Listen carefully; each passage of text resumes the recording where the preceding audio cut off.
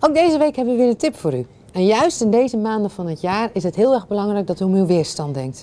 Nou, hoe kunt u er nu voor zorgen dat uw weerstand een beetje op peil blijft? Dat is allereerst door goed gezond te eten, regelmatig te eten, maar vooral ook te letten op de groentes en het fruit wat u eet. Want vitamines heeft u heel erg nodig om uw weerstand goed op peil te houden.